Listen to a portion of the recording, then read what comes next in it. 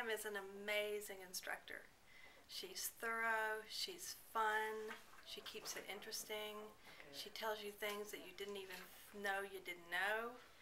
Um, she's a wonderful hostess. The food's been fabulous. It's a beautiful part of the country, and I didn't even imagine how wonderful this would be. I've made really great new friends, and I am very grateful for this experience.